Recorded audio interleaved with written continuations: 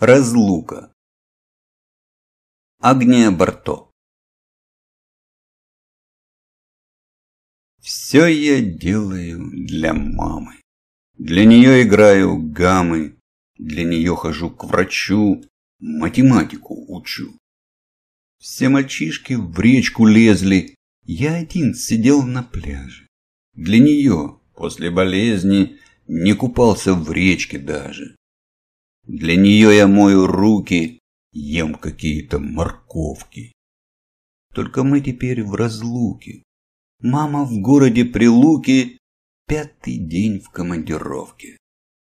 Ну, сначала я без мамы отложил в сторонку гаммы. Нагляделся в телевизор на вечерние программы. Я сидел не слишком близко, но в глазах пошли полоски. Там у них одна артистка ходит в маминой прическе. И сегодня целый вечер что-то мне заняться нечем. У отца в руках газета, только он витает где-то.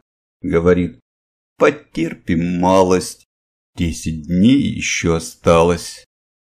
И, наверное, по привычке или, может быть, со скуки, я кладу на место спички и зачем-то мою руки. И звучат печально гаммы в нашей комнате без мамы.